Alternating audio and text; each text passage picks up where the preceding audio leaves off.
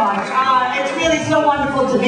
morning with so many, so many long-time friends. I won't say old, but long-time. To all of you who have joined this wondrous process this year. The high school, the college students, the newly young who have risen up. yes. Newly young, huh?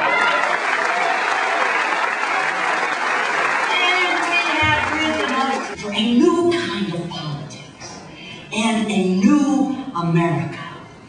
I salute you for where you have brought us today. To the cafeteria crowd, to the hallway crowd, to everyone who is here today. It is a new opportunity.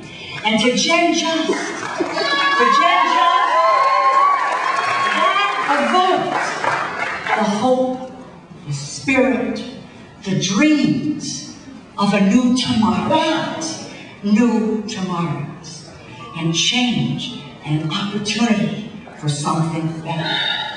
Let me salute the town of Hamden, Mayor Henrici, Joe McDonough for welcoming everyone here today. Nancy DiNardo, revitalized our Democratic Party.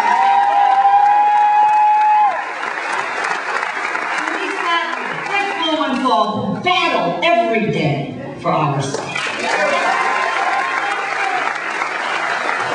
This delegation today, I said this out in Denver when I addressed uh, the breakfast um, on the, the last Thursday we were there. There is a special bond, a special bond, and a unique bond with this delegation. Then this is not something that is common in the United States Congress. We care about one another.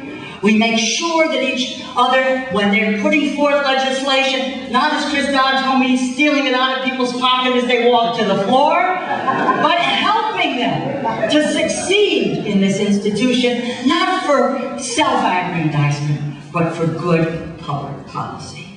And I will just tell you that we are going to be joined by Jim Himes. Going to help make. I'll say one quick thing, which I wasn't going to say, but I will. It is Jim's opponent, who just yesterday said, when asked about Sarah Palin being on the ticket with John McCain, how that would fly in Connecticut. And he said that Connecticut voters will be happy just because there is a woman on the ticket. My friends, demeaning to women, insulting to women. That's right. When you deny, when you deny women the right to choose, when you deny equal pay for equal work, when you say no, to- when you will privatize social security, women will know who to vote for in November. Jim Himes, Barack Obama, and Joe Biden.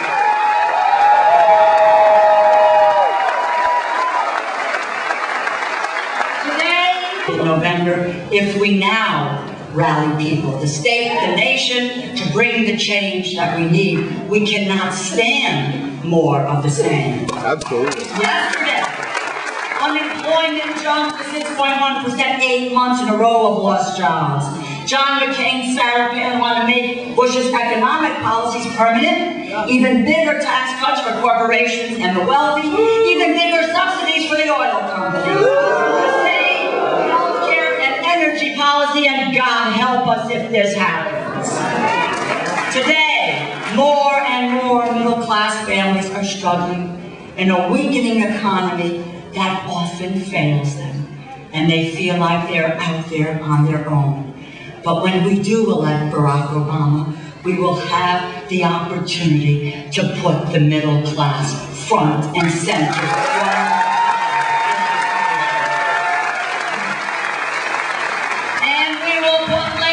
front and center, which helps us to build a middle class in this nation. Imagine, my friends, imagine the potential. A new compact with people where hard work means progress. It does mean equal pay for equal work, making health care affordable, restoring our place in the world, ending the Iraq War with and making America energy independent. That hope, President of the United States and Joe Biden, the Vice President. But have no illusions. It is going to be a tough battle. Republicans will do everything that they can to hold on to power. So, we are going to organize. We are going to work with energy, with imagination, and with boldness in the 60 days. We are going to put the other side on the defense nation to the real price of a third Bush term.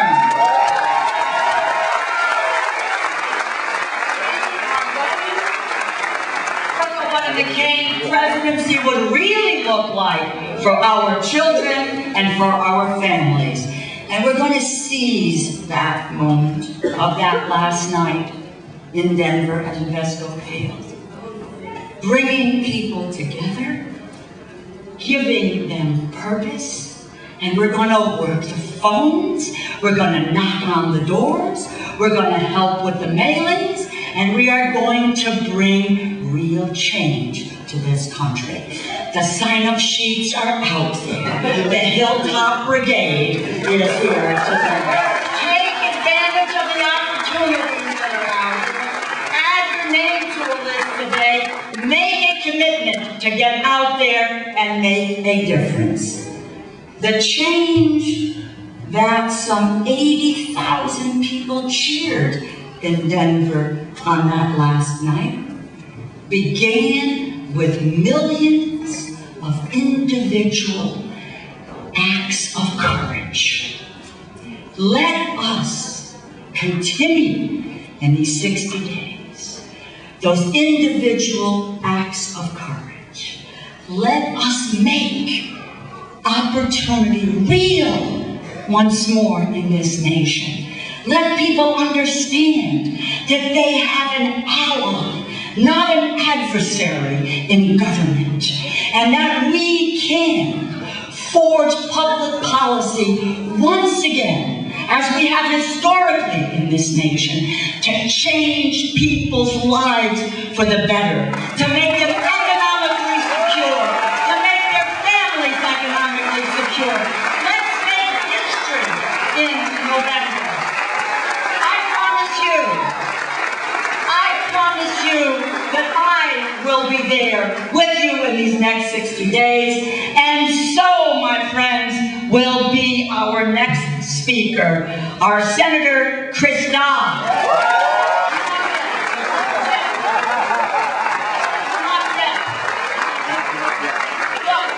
John was out there with Chris uh, in Iowa, as were Courtney and Murphy and so many others on this stage, myself included. But let me just tell you, he raised in this campaign that touched all of us. He stood up for our Constitution, and he stood up to President Bush. And he said, no, no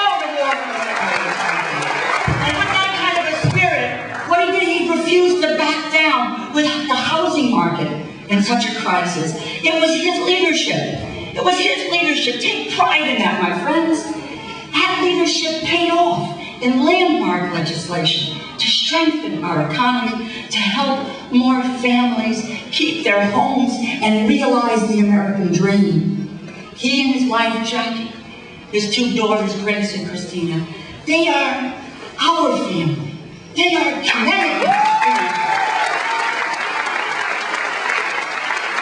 And it is rare, it is rare to find anyone authentic as Chris Dodd.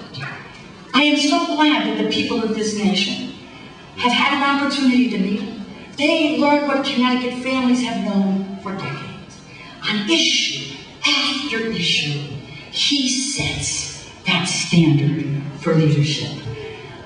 Please welcome our Senator, Connecticut Senator, Connecticut Scholar,